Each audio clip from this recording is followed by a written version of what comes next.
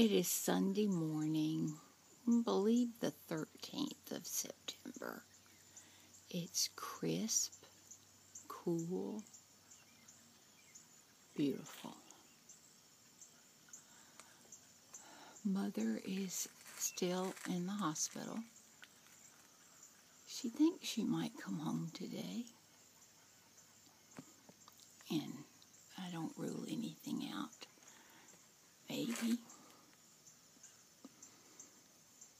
It is gorgeous. God's handiwork.